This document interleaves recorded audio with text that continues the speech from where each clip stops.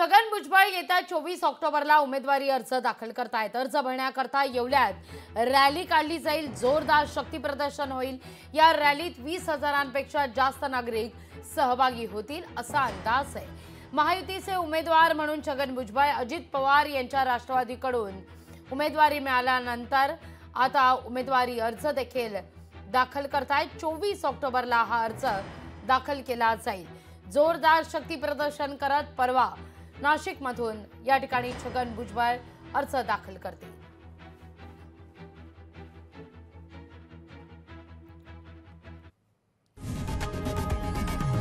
लोकशाही मराठी.